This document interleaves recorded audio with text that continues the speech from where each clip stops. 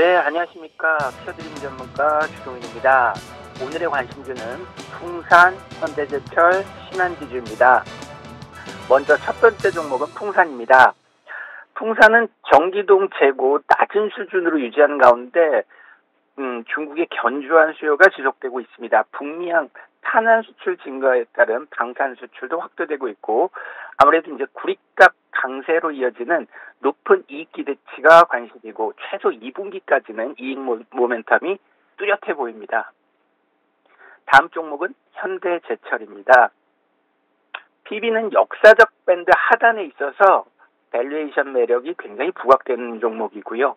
낮은 기저에 탄력적인 이익 모멘텀 그리고 유통 단가 유통 단기 인상 가격 가격 인상에 따라서 1분기 호실적 전망 그리고 연간 전체적으로 턴어라운드를 기대할 수 있을 것 같습니다.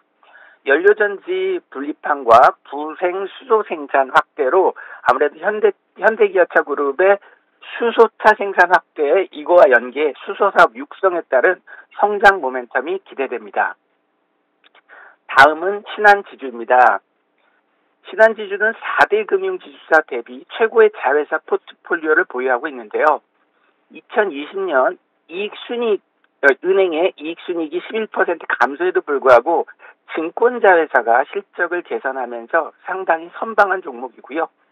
순이자 마진, 소폭 하락 중이나 올해 코로나19의 추가적인 적립, 대손 비용이 안정적으로 이어지면서 강점인 해외 손익도 실적 개선 기여에 전망할 것으로 예상됩니다.